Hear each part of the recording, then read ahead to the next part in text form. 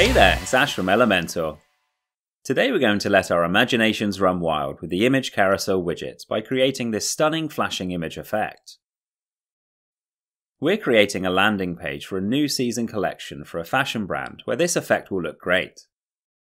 So if you're ready to get started, let's begin. As you can see, we've already made a good start on this page design, but it's now time to add in our flashing images effect. We'll start by adding in a single column section, which we'll set to full width, and then set the horizontal align to start. To ensure this works as expected, we must ensure that the images being added into the image carousel all have the same height and width. Let's now search for and drop in the Image Carousel widget. With the Content tab selected first of all, let's add in our first images which we've already uploaded to our media library.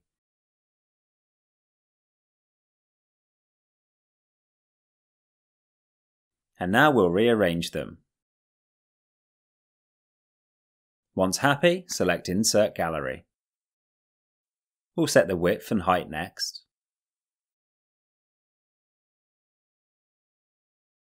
and set slides to show to 1. Navigation will be none. And if we expand the additional options next, we can set pause on hover to no, pause on interaction to no, autoplay speed to 500, which equates to half a second, and finally, effect will set to fade. Switch over to the Style tab next and apply a border radius. Now switch to the Advanced tab and expand positioning We'll set this to be fixed so that the carousel remains in the same position, and then amend the horizontal orientation,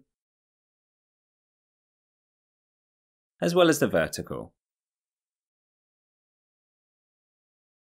Okay, this looks great and is a good start to our flashing image effect.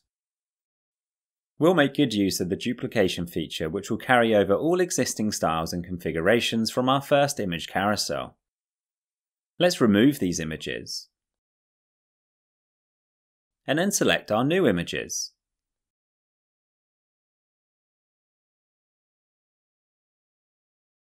Just like before, we can rearrange them and then insert the gallery.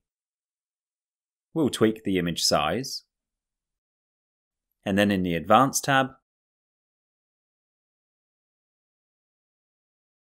we'll amend the horizontal and vertical orientation like so. Let's now create our third flashing image. For ease, we'll open up the navigator by typing Command or Control I, and then duplicate our last image carousel from here.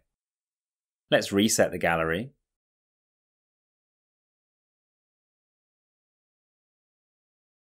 And then just like before, select our images,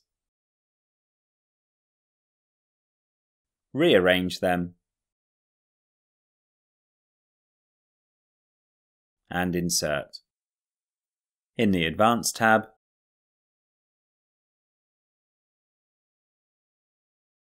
amend the positioning to your desired location.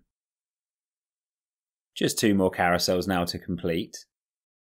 We'll duplicate the first one again, reset the gallery, add our images, rearrange them, and insert. Then amend the width and the height.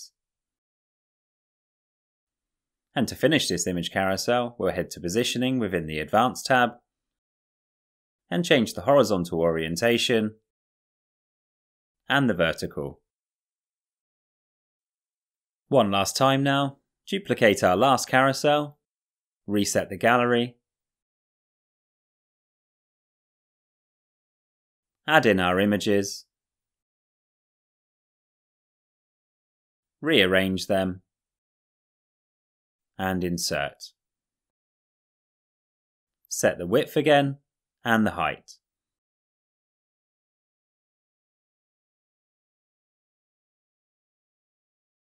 Then adjust the horizontal and vertical orientation. If we minimize the widgets panel now and scroll down, you can see how the flashing images stay fixed. It would be good to add some spacing to the top of our text, however, so that visitors are able to absorb the imagery. Select the text and switch over to the Advanced tab. Amend the Z-index first to bring the text in front of everything else. Then select the column inside the second section. And unlink the padding values. Change to percentage, and add 30% to the top. Perfect! Save and publish your changes, and now let's preview our design. And there we have it. We've created a modern and stylish flashing images effect using the Image Carousel widget. Thank you for watching. Be sure to comment below with any questions, and don't forget to like and subscribe for more amazing tips and tricks tutorials.